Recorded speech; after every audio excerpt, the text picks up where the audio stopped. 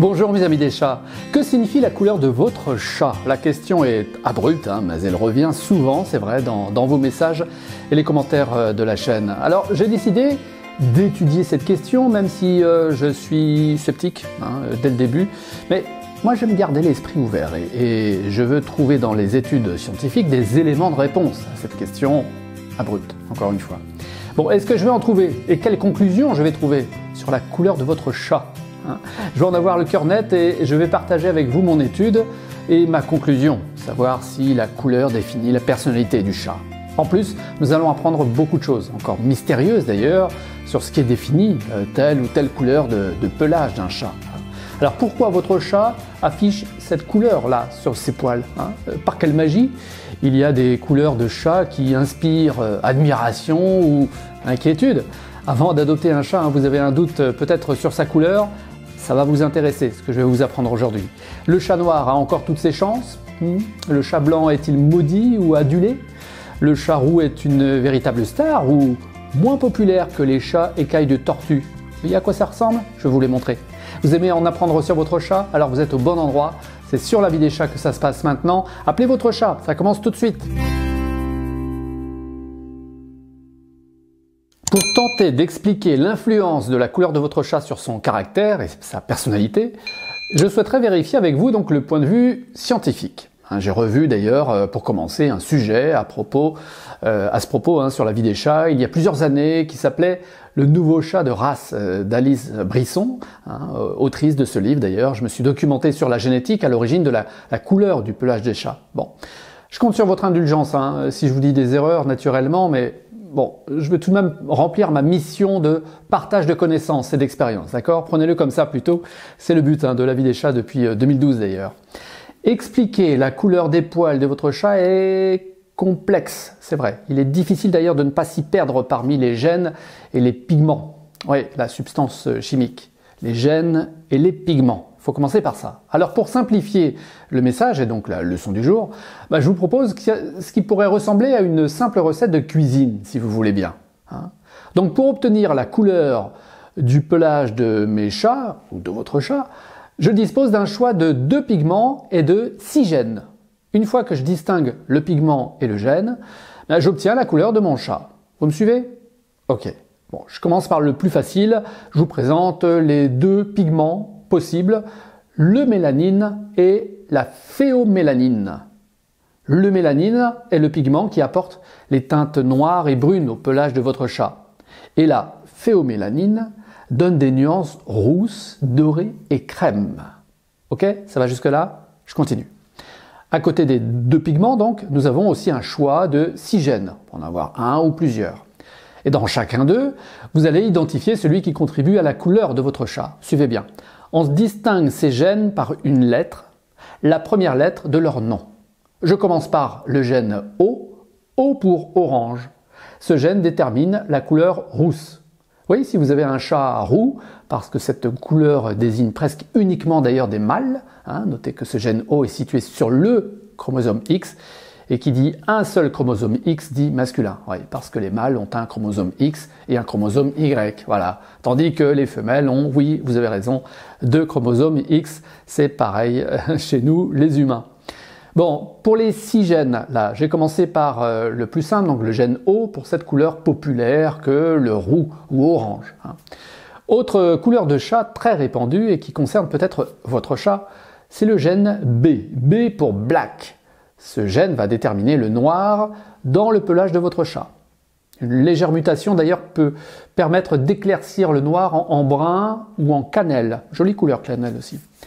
Le troisième gène paraît mystérieux puisqu'il s'agit du gène D, D comme delta. Hein. quel est le nom de ce gène responsable d'ailleurs de la couleur des poils de votre chat là? Ce n'est pas delta, non, c'est dilution. D pour dilution. C'est curieux et intrigant, hein. je vous explique pour eux. Donc, dilution. Le gène D ne désigne pas une couleur directement, mais il atténue l'intensité des couleurs. Le chat roux peut avoir donc un pelage à la couleur très vive, mais cette couleur rousse est très atténuée pour certains chats en raison de leur gène D qui dilue sa première couleur. Vous voyez le principe? Bon, je peux imaginer peindre un tableau et ajouter une goutte d'eau à un trait de couleur orangé sur la toile là. Bah, ça va diluer l'intensité de la couleur sur mon tableau. Ok? Pour les poils de votre chat roux, c'est le même résultat. Sur un chat noir maintenant, le gène D va le transformer en chat gris. Ouais, c'est comme ça. Pourquoi ce chat gris se fait appeler un bleu d'ailleurs, comme le chartreux, à savoir. De même, le gène D, toujours, hein, va transformer un chat couleur chocolat en couleur lilas. Ça tend vers un gris clair rosé, en fait. Le quatrième gène a un nom encore plus étrange, le gène A. A, comme agouti. ça concerne deux de mes trois chats, puisque ce gène détermine euh, si son pelage est uni ou tigré. Eh ben voilà, par conséquent, si votre chat n'a pas ce gène A pour agouti, sa couleur est unie. A contrario, votre chat tigré, qu'on appelle aussi tabi, possède le gène A. Ça concerne aussi le chat marbré ou tacheté, euh, très rare d'ailleurs sur la planète. Vous avez un chat blanc peut-être et vous vous posez la question de savoir euh, quand est-ce que je vais parler de la couleur de votre chat blanc. Ah, c'est le moment, puisque voici le cinquième gène, le W pour white, très simplement. Hein, dès que votre chat a ce gène W, cela masque toutes ses autres couleurs et le voici tout blanc.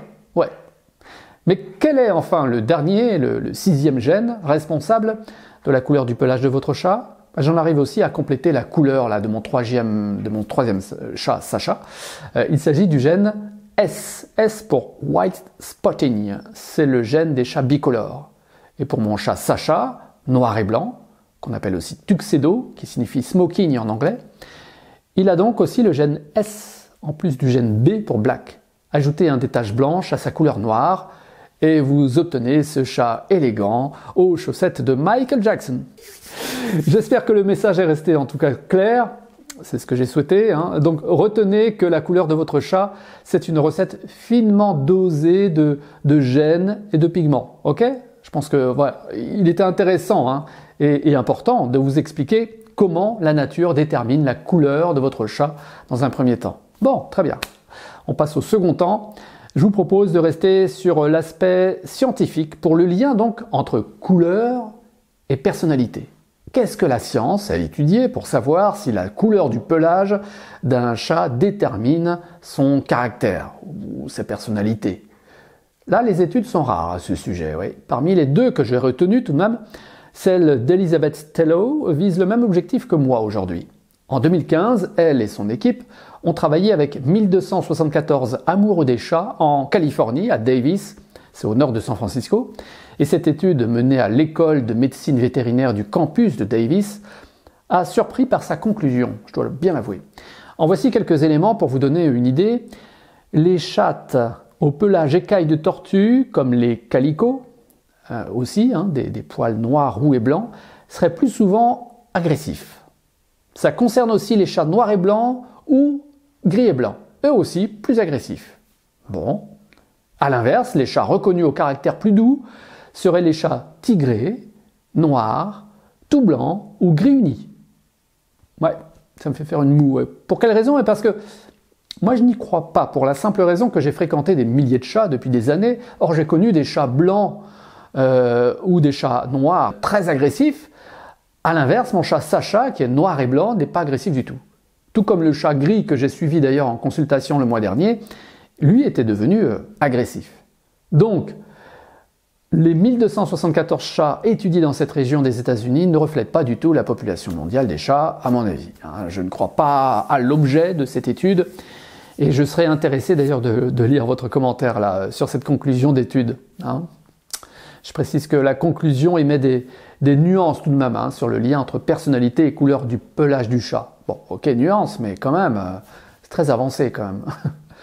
La deuxième étude scientifique retenue dans mes recherches est celle du docteur Miquel Maria Delgado. Son étude euh, réalisée en 2012 est très intéressante pour son objectif. Je pense que vous allez comprendre euh, sa, démarche. Cette étude sérieuse ne cherche pas à étudier le fait que la couleur du chat pourrait déterminer sa personnalité, mais pas loin, est-ce qu'une telle étude peut valoir d'être menée? C'est ça son travail d'étude. Ouais. Je trouve ça très bien en fait, d'étudier d'abord, euh, et très loin, la pertinence d'une question avant de s'engager à des efforts considérables euh, pour cette étude scientifique. Hein. J'espère que vous me donnerez euh, votre avis aussi là sur cette démarche, savoir ce que vous en pensez. Allez-y hein, en commentaire. donc suivons cette étude de cette scientifique américaine La personnalité du chat est-elle relative à sa couleur de pelage? Est-ce qu'il y a matière à conduire une recherche plus poussée sur le sujet, notamment avec l'aide de, bah, de généticiens hein? Non mais vous imaginez les moyens financiers considérables nécessaires pour euh, une telle étude euh, menée dans les règles de l'art et, des normes scientifiques? Valait mieux se poser la question. le, boulot euh, en vaut la chandelle. Hein. Je ne vais pas vous encombrer là de, détails et de méthodes employées. Non, je préfère vous laisser le lien là en référence de, cette étude de Michael Maria Delgado et vous livrer directement la conclusion. Non, rien ne justifie de s'engager à étudier plus loin cette question. Alors, il y a des, arguments, euh, des arguments quand même. Hein. Quelle raison j'ai retenu euh, La scientifique comptait appuyer en fait une partie de l'étude sur l'agressivité des chats étudiés. Or, le nombre d'agressions de chats sur des humains est trop bas pour nourrir une base de données suffisamment pertinente. Voilà, il n'y a pas assez de cas. Et quand le nombre de cas de chats reconnus agressifs est trop bas, bien les résultats sont trop fragiles et donc non significatifs. Hein. Après cette recherche dans les études scientifiques, de laquelle hein, je n'avais retenu que ces, que ces deux que je viens de citer là aujourd'hui, eh bien, elle confirme quand même la même réponse. Hein, ok, la couleur influence-t-elle le comportement du chat? Je préfère insister sur la, réponse, hein, c'est non. Voilà. Votre commentaire en tout cas demeure intéressant hein, si vous le souhaitez. Euh, je vous ai proposé aussi donc là aujourd'hui mon partage d'expérience et depuis des années d'ailleurs je mène beaucoup d'études sur le comportement euh, du chat et ça arrive d'arriver à une impasse, à un cul-de-sac. Alors je ne vous en fais pas toujours part, hein, je ne veux pas vous encombrer de toutes ces études, mais cette question était intéressante parce qu'elle revenait souvent quand même. Hein. Personnellement, moi, ça me conforte dans le doute que j'émettais dès le début, hein, euh, mais euh, je reste fidèle à ma volonté de garder toujours l'esprit ouvert. Je suis pas trop d'accord, mais je vais quand même creuser. Ça me semble important, voilà. Et puis c'est dans ma nature. Voilà, je voulais vérifier, c'est fait. De cette recherche scientifique, je retiens que l'influence que nous, euh, les humains, subissons par notre éducation, notre culture euh, et, notre environnement eh bien, nous amène à des raccourcis et des croyances infondées, des a priori, si vous voulez. Hein. Bah tiens, je vous rappelle l'exemple du chat noir. Est-ce que vous avez un chat noir à la maison? Non? Ce sera l'un de mes rappels de sujet d'ailleurs à revoir quand je vous donnerai une sélection tout à l'heure pour aller plus loin sur ce thème du jour. Dans l'histoire humaine, hein, le chat noir a connu une campagne de, massacre, hein, au, Moyen Âge euh, notamment, et depuis, c'est resté dans ces croyances populaires pour certains. Aujourd'hui, les chats noirs d'ailleurs souffrent encore de cette image populaire dans, les refuges. Hein. Les chats noirs sont encore nombreux à être laissés pour compte euh, dans les refuges, malheureusement. C'est un constat. À l'opposé de ce hit parade de popularité, le chat roux, ouais, il reste un chat très recherché et pas très répandu. Non. Pour quelle raison le chat roux est-il si populaire d'après vous? Ouais, les bandes dessinées de Jim Davis, ça fait des décennies, et les films sur Garfield, qui ont décuplé sa popularité depuis euh, bah, toutes ces années. Hein. Nous avons été euh, influencés, euh, sans doute donc par la culture, hein, à mon avis. Hein. La couleur orange ou rousse peut avoir un impact aussi sur notre inconscient, et cette couleur agirait aussi sur notre cerveau sans qu'on ne s'en rende compte, en fait, vraiment. C'est une hypothèse à creuser, en tout cas dans, dans la littérature scientifique, l'impact de la couleur. Les chats siamois, tiens, me semble moi à titre personnel moins diplomate que les chats noirs et blancs. Alors est-ce que j'ai un a priori euh, à ce sujet? Mais je vous, en fait, je vous affirme ça uniquement sur mon expérience des rencontres avec ces chats siamois à la couleur bien particulière, là depuis des années. Mais euh, au contraire, vous, vous pouvez peut-être vivre avec un chat siamois super sympa, super amical avec d'autres chats. Ce qui met à plat mon a priori. Vous voyez, c'est ça, un a priori que je peux avoir aussi. De même, hein, votre chat noir et blanc est peut-être moins sympa, moins affectueux, moins câlin, moins joueur, moins tendre que mon chat Sacha chez moi. Par conséquent, la couleur du pelage de votre chat ne définit pas sa personnalité. C'est dit, enfin. C'est son éducation, bien sûr, son environnement, euh, sa sensibilité qui définissent la personnalité du, du chat. Hein. Je ne sais pas ce que vous en pensez, dites-le moi en, commentaire là, en quelques mots, euh, d'après votre expérience aussi avec euh, les chats. Hein. ça va montrer comme ça votre intérêt pour votre chat. D'accord? Et ce qui confirme d'ailleurs votre intérêt pour votre chat et les chats en général que vous pouvez croiser, ben, c'est celui que vous portez à ce guide d'accueil d'un nouveau chat. Vous l'avez, hein, je l'espère. C'est le cadeau de bienvenue à, la lavideschats.com, un livret PDF de 200 pages de conseils que je vous propose d'ailleurs de retrouver tout de suite hein, dans votre espace personnalisé. Comment on fait? Bon, C'est très simple, hein. vous y accédez en deux clics sur le lien que je mets dans la description. Ma sélection du jour pour votre chat, si vous avez trouvé intéressant ce sujet et si vous avez appris des choses à propos de votre chat aujourd'hui, alors là, je suis sûr que vous allez aimer ces recommandations. Pour aller plus loin, dans ce que je vous ai dit, je vous propose de revoir pourquoi le chat noir est génial. je vous laisse le lien dans la description. Je vous propose aussi de revoir euh, adopter un chat dans un refuge facile. Ok? Sur le mode affirmatif, hein, je le fais bien sûr. Hein. Maintenant que vous savez que ce n'est pas la, la couleur du pelage du chat le plus important, vous allez poser des questions pertinentes sur sa personnalité au refuge que vous visiterez. D'accord?